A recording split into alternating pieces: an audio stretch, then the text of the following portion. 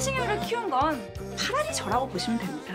얘이말 전부 다 믿지 마. 전 Love Next Door is an ongoing South Korean television series written by Shin Ha-un and 전부 다 거짓말이야.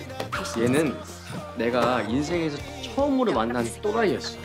편식하던 꼬맹이가 directed by Woo Jae-on and starring Jung Hae-in and Jong So Min.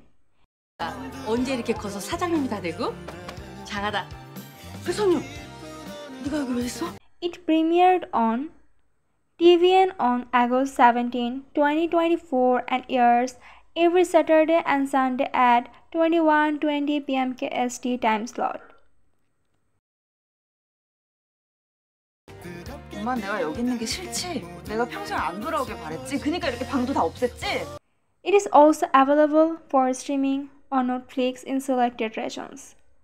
So let's start watching this drama Love Next Door right now. And what are your thoughts about this drama? Write me in the comment section and stay tuned for more updates. 시간을 되돌렸지. 네 흑역사를 한번 재현해봤어.